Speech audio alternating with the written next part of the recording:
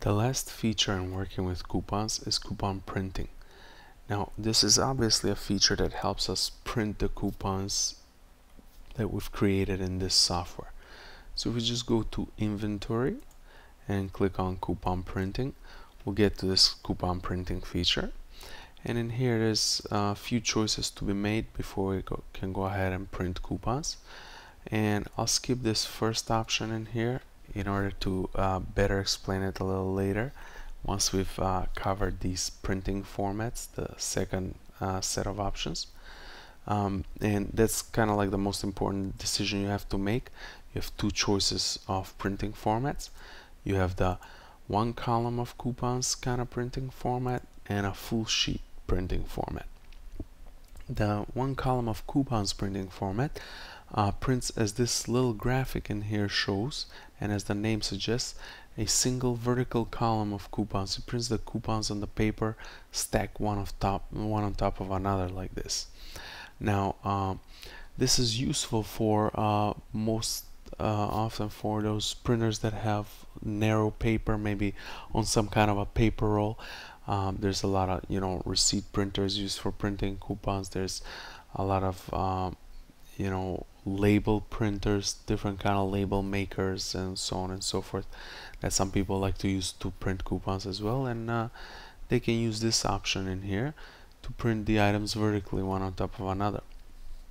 Now uh, the full sheet one the full sheet option uh, prints on a regular paper which we know as eight and a half by 11 inches or as we call letter size paper or internationally they call it A4 format. And uh, that's the regular office printer regular home printer. Uh, so in, in, in case of that kind of a paper and that kind of a printer uh, you want to maximize the uh, space allowed for printing on the paper and you want to print multiple coupons you know uh, with multiple rows and columns vertically and horizontally and fill out the entire space right? Just as it's showing on this little graphic in here. Now uh, back to this option that I skipped the first option. It only applies to uh, this format of printing the one column of coupons because see it says vertical spacing between coupons. It fixes the vertical spacing between coupons. If the default option of 1 is uh, not enough of a spacing for you if you want to space these coupons uh, further from one another so you can maybe cut them easier they're just too tight maybe as they print with the default setting on 1 you just increase this to two three four. You can type in whatever number you want in here. And as long as you get it right for your needs and when you're happy with the spacing between uh, these coupons then you just stick to that setting. Uh, and of course this doesn't apply to the full sheet which uh, the full sheet uh, type of printing uh, the full sheet format of printing will have uh, much more difficult problems than just the vertical spacing. It will have more problems like horizontal spacing the margins in between you know top and bottom of the page left and right of the page uh, the size of the coupon. You gotta decide which size the coupon is gonna be. So are you gonna fit more coupons and print smaller size coupons? And you're gonna fit more coupons on the sheet on single sheet of paper or you're gonna go with uh, larger size coupons and fit less maybe even less columns and less rows and therefore less coupons on the sheet but larger coupons. So all of these uh, you know things you have to deal with like the size of coupons the spacing horizontal vertical spacing between them the margins on both sides or top and bottom uh, to shorten your the need to worry about all of this like uh, you're some kind of a professional printer or something. Uh, what we do to simplify all of this is we've adapted um, Microsoft uh, Microsoft's way uh, the way they do it in Microsoft Word. Uh, uh, they respect certain label standards label formats for for sheets that use labels like this. And we've put them all in here these are standard and they're not bound to just Microsoft Word. They're literally world standards for uh, printing problems like this. And uh, every each one of these will result into a different size coupon and you know so a different size printed object and differently aligned and therefore you know will give you less or more coupons per sheet per page. So these are all uh, world standards well known. They can be used in a lot of types of software but what we do is for simplicity we just merge to Microsoft Word.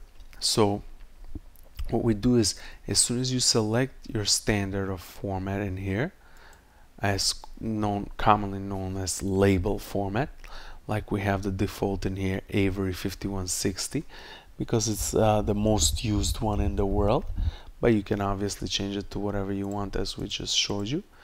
But for this video tutorial let's go with Avery 5160 and as soon as you choose that and the rest of the options in here and you're ready to print coupons what's gonna happen is our software is gonna take you straight to your Microsoft Word program. So you have to have a Microsoft Word program on your computer for this full sheet of printing format.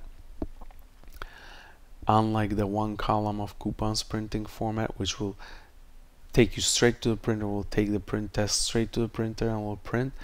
What you have to do with this one or what it does with this one is with a full sheet as soon as you hit print coupons it actually presents the coupons aligns them and all automatically for you in Word makes them proper and the only thing you have to do is hit print from Word. But you don't have to bother with aligning them with choosing sizes. You just literally choose your format and uh, the rest of the settings hit print puts it all automatically for you and properly aligned in Word opens up your Word program and you hit print from there. And you're going to see all of that right now. The one option I skipped in here that we're going to explain now is this one in here uh, that says is this an already used sheet? And if so start at position what obviously position 1 is the default for brand new sheets but you may have a sheet of paper that's been previously used from a previous uh, task of printing. And maybe let's say you had position 1 and position 2 um, already printed. So therefore you can't print on position 1 and position 2 and you want to maybe start from position 3 which is blank and continue onward. So let's say you want to start at position 3 and we're going to do this for this video tutorial. So you see how it is to start the printing at position 3 and not at position 1 so we're pretending that you have a used already partially used uh, sheet of paper that the first two positions already printed on and the last thing we need to select in here is what coupons we want printed and how many of them. So we'll select let's say new coupon one. That's the coupons that we created with this software in one of the previous video tutorials. Let's say we need quantity 10 of this one. So in the quantity box I'm gonna put 10 and as soon as I click add it's gonna put them on the list for printing in here. So new coupon one quantity 10 now I'm gonna end here for this video tutorials because tutorial because I don't have any more coupons that we created with this uh, series of video tutorials for an example. But um, if we wanted to add more we just go in here go back in the drop down menu select the next one the quantity that we want hit add and it's gonna add it to the list. And then go back again and do it over again until you complete the uh, list that you need to print the test that you need to print right now. Um, maybe it's like six different kinds of coupons with all the different quantities. It's all gonna fill in this table. Once you're satisfied with that list and you're done uh, you want to go to printing. As soon as you hit print coupons as I said it's gonna take us to Word as you're gonna see now.